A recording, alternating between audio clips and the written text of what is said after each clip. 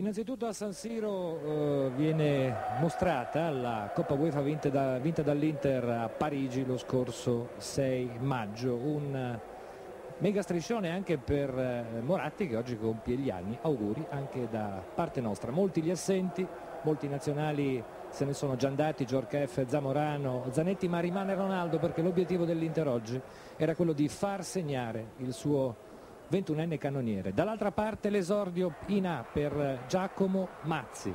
E allora vediamo come l'Inter ha provato a far segnare Ronaldo. Qui ci prova il brasiliano un tentativo di pallonetto. La difesa dell'Empoli si chiude, anche l'uscita di Mazzi disturba il brasiliano. Un break della formazione di Spalletti, Bianconi per Esposito, tiro al volo e Pagliuca blocca. Poi Paolo Sosa, Coe e il gol di Colonnese al 22 minuto. Tutti a cercare Ronaldo ma sbuca Colonnese e segna il suo primo gol in Serie A e l'1-0 per l'Inter dopo 22 minuti di gioco.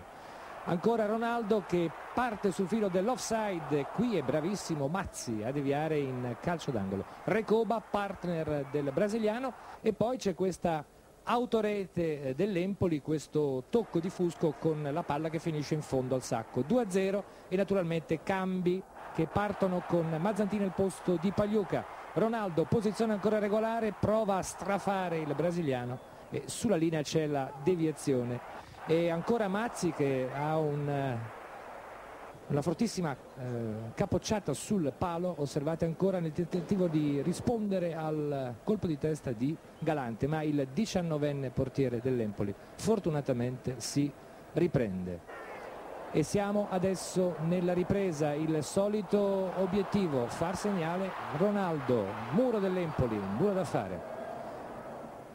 Winter e Bianconi alle spalle lo stende secondo Rossetti, arbitro di Torino esordiente a San Siro il calcio di rigore. Biroff è lontano, Ronaldo però porta a 24 il suo bottino in fatto di gol in questo campionato. Sorridente il brasiliano che nei prossimi giorni raggiungerà naturalmente la sua nazionale, Ronaldo Recoba, assist.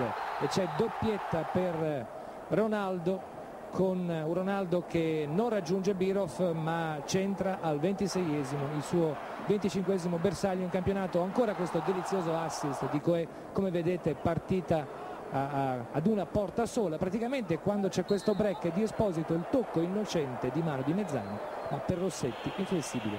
E calcio di rigore c'è il gol di Cappellini il gol dell'Empoli per il 4 a 1 eh, definitivo. E naturalmente poi ci sono le scene di esultanza da parte dei tifosi dell'Empoli ed il saluto di Ronaldo 25 gol in questo campionato, 34 stagionali con l'Inter, mai un giocatore non italiano nella sua prima stagione ha segnato così tanto. Inter che si consola anche con un piccolo primato, quello dei, della migliore retroguardia, 27 gol subiti soltanto in questo torneo. Addio per Luciano Spalletti, si è fatto adulto, si è fatto grande anche con il suo Empoli e tornerà a San Siro la prossima stagione, qui con la Sampdoria.